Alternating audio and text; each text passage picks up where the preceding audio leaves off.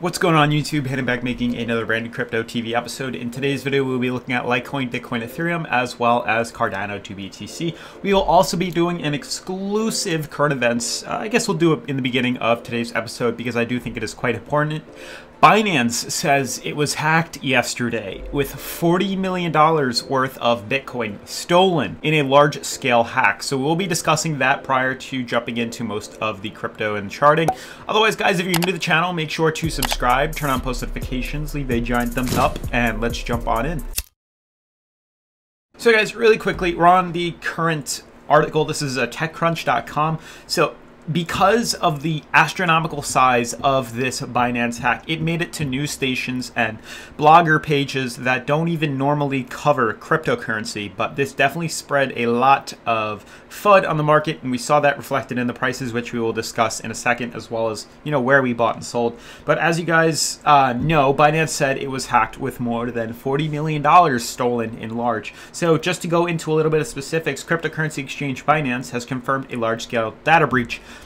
in which hackers stole more than $40 million in cryptocurrency. In a statement, the company said hackers stole API keys, two-factor authentication codes, and other informations in the attack. Binance traced the cryptocurrency theft, uh, more than 7,000 bitcoins at the time of writing, to a single wallet after the hackers stole the contents of the company's Bitcoin hot wallet. Binance, the world's largest crypto exchange by volume, said the theft impacted about 2% of the total Bitcoin holdings, which is crazy. 7,000 bitcoins in the exchange is just 2% of their total funds. They said all of our other wallets are secure and unharmed, which seems like the hackers only specifically targeted one wallet with the 7,000 inside of it to make it, I guess, a big payout. The hackers had the patience to wait and execute well orchestrated actions through multiple seemingly independent accounts at the most opportune time. The statement said the transaction is structured in a way that passed our existing security checks. It was unfortunate that we were not able to block this withdrawal before it was executed. So basically, they were were sending viruses, sending phishing emails to the person or whoever owned it. And I guess they fell for it. They got the password, they got the two factor authentication, which seems to be the way that people are getting into accounts and taking them as important two factor authentication is.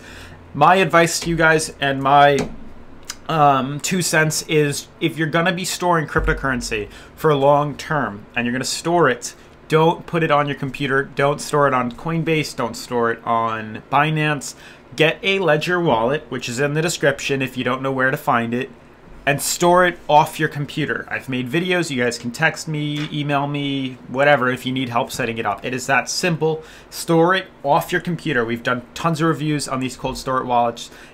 It's possible and it can happen. Yeah, if you're not holding that much, you're not really a big threat, but it's definitely a possibility, especially with people advertising their crypto, putting it on the internet, and making it well known, people can be more prone to getting hacked. So you got to be careful. Watch your emails. If it looks fishy, it probably is. Otherwise, guys, let's jump into the chartings. We do have a lot to discuss. I did buy into Cardano. I want to show you guys that in a second. But as you guys can see, we're on the current coin market cap. Market cap 185 billion in volume. 24-hour volume is 40. Sorry, market cap is 185 billion. 24-hour volume is 46.6 billion. Bitcoin dominance is up 40, uh, 56.5%. So we're seeing all coins drop more than Bitcoin is. But markets are coming back down. Makes sense. We'll go into that in the specifics in a second. As you can see out of the top 10 cryptocurrencies, Bitcoin testing $6,000. Very interesting. The markets are down. They are all in red. We see Litecoin number 5 around $500 million off from Bitcoin Cash. So Bitcoin Cash does seem to be having a lead right now and very close, neck and neck almost to EOS, which is about 100 million off. But coins are mainly down about 1 to 3% at most, really nothing more than that. So markets are okay. Consolidation is needed. I've been saying that we're going to pull back down for quite some time now. Um, Otherwise, let's jump into Litecoin and the rest of the charts. I do think it's quite important we discuss this. I think there's a ton of stuff to talk about. So make sure you watch this till the end because, you know, this is current events and it is very, very interesting. So I just want to show you, I guess we'll discuss Litecoin first. So as we know, I bought in at 71 and I sold it a little bit, sorry, I bought it in around 73, sold it at around 76, made a little bit of profit, but we're starting to pull back down and with good reason. You know, as we zoom out, you guys know for all those who are new to the channel, we've been tracking a massive ascending wedge that has been forming on Litecoin. Now, what's interesting to note is we did manage to break out of this ascending wedge, traded above it, then we broke below the ascending wedge and used it as a resistance. And it seems like that's what's happening right now. So yes, it is nice to see that we are trading around 50 on the RSI. It gives us plenty of room to move up higher also plenty of room to move lower, which is something we have to take into consideration. When we see even market 50 on the RSI, usually tells us we got to look elsewhere for information as to what uh, where the market could potentially lead to. So that brings us on to Bitcoin because Litecoin seems to be going in either direction. We have to take our focus elsewhere. So here's where it gets interesting. I looked at Bitcoin, and what I've noticed is Bitcoin, yes it was crazy yesterday, actually. This was wild. We actually managed to literally go right up to $6,000, touch it, and then retrace back down, ultimately pulling right back down to our uptrend. So I was talking to my um, the people that I was tutoring yesterday on cryptocurrency, and we were looking at Bitcoin. And what we saw was these ascending wedges that were forming on Bitcoin. And you'll notice we have a bottom support and a top resistance.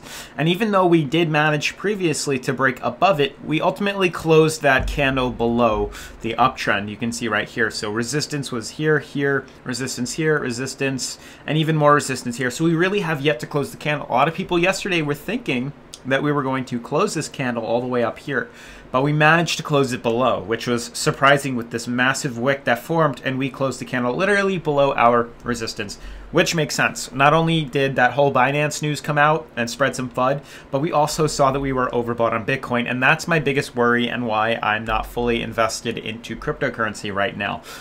There's an issue that is you know happening. There's an issue that we need to discuss. The fact that bitcoin is overbought on its daily the fact that it's above its uptrend these are very bearish indicators and indicators that to me mean that we're going to pull back down. So when i see things like this it means don't buy in at this level because there are better opportunities with less risk to buy in and make more profit.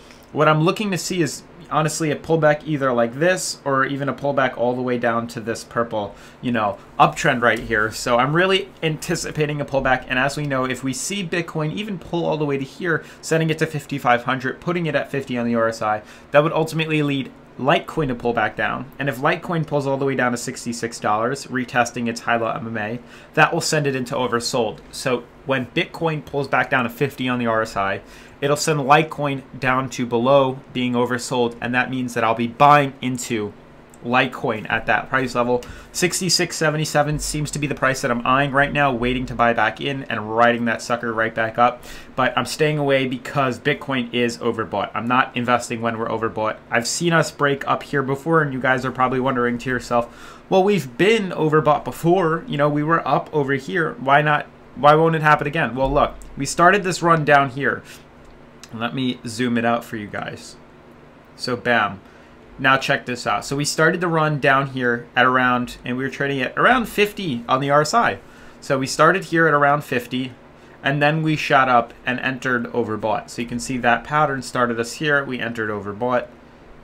That's not going to happen now because you can see we're already overbought, and we wouldn't be able to get the momentum to drive us higher up which is why I don't think it's likely. If we were at 50 right now, then I'd say, yeah, we're most likely going to continue to break up. But the fact that we're already above and we're already oversold, I mean, overbought, it gives more reason, probably an 80-20% chance that we're going to break downwards. That's why I'm bearish. I'm staying out and getting ready to buy in. Also, huge shout out to everybody who's supporting me on Patreon. Con like, that's awesome. We're going to be doing tons of exclusive things. Not only will be able to get exclusive access to any and all of my crypto trading charts that you see on YouTube before all the people on YouTube get to see it. It's live updating, which means Patreon, they're the first people to see it. We're almost at my goal of 100 people on Patreon. We just broke 30 Patreons. So huge shout out to you guys. Highly recommend checking it out. It does help support the channel. And it's an awesome community that we're building on there, which really helps a lot of the beginners. I offer tutoring, a bunch of things you guys should highly, I highly recommend checking out. It's the second link in the description. Now moving on to Ethereum and then Cardano. Very interesting things to discuss all across the board yesterday was pretty interesting too. We did manage, I was talking about this with one of my clients, we did manage to break outside of this uptrend.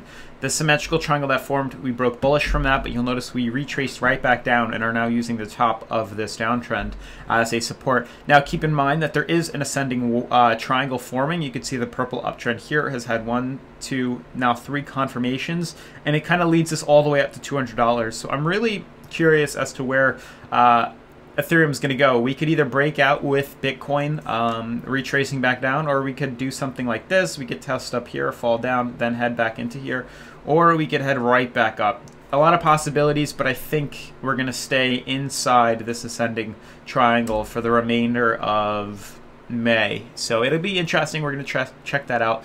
Now, moving on to those interested in Cardano. Cardano is definitely taking an interesting toll. Check out Cardano right now. We've been in a, an extremely bearish market right now. So as Bitcoin has been accumulating and moving higher, Cardano has been doing the exact opposite and pulling back down.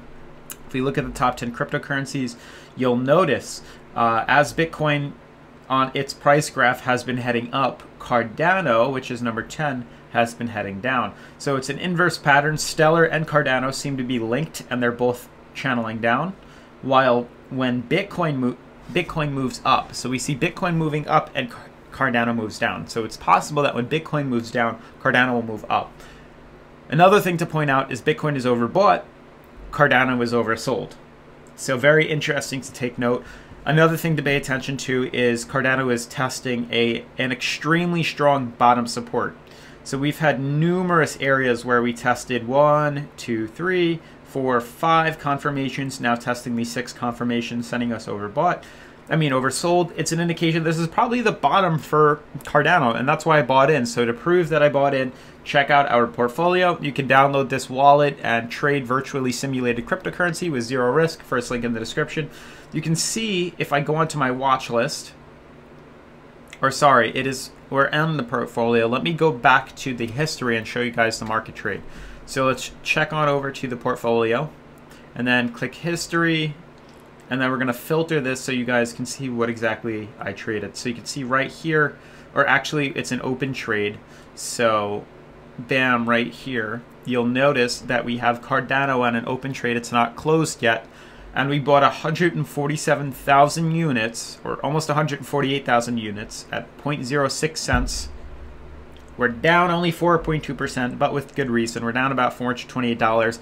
But keep in mind, we bought in at a good time because I think that's going to flip very soon. We're bought right down here at the bottom of this pullback, this bearish, you know, hill, right at the start where we previously broke out. We may not shoot up that high, but something like this could definitely happen, and that will be a huge profit for all of us. Make a couple thousand dollars on the virtual trading platform. You guys can mimic it in real life too. So it's going to be pretty awesome, but this is a beautiful opportunity to be buying into Cardano. So definitely check it out. Um, giveaway at 10,000 subscribers, guys. We're about to hit that about to hit 9K actually, and then we got a thousand more to go, which will be super quick. Probably a giveaway on Patreon as well. Um, but otherwise, I will see you guys in tomorrow's episode. Make sure to subscribe, turn on post, post notifications, and drop a thumbs up if you like the content. Peace.